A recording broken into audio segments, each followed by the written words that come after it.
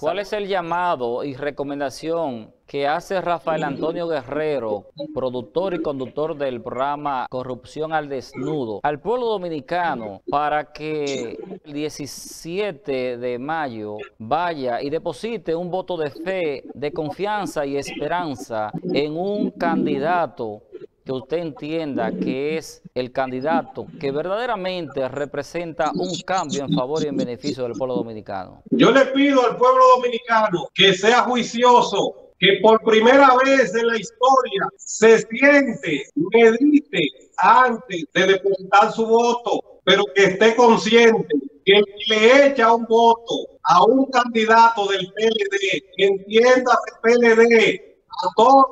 ha estado salido de ahí a cualquiera de sus candidatos es un criminal, es una gente que no ama a su país, es una gente indolente, duele que sus ciudadanos voten por quien le da su conciencia, produzcan un cambio, que aquí habemos hombres vamos a encargar de que este es el último gobierno que tiene la sartén agarrada por el mango. Mira, Eric, en este país hay cambio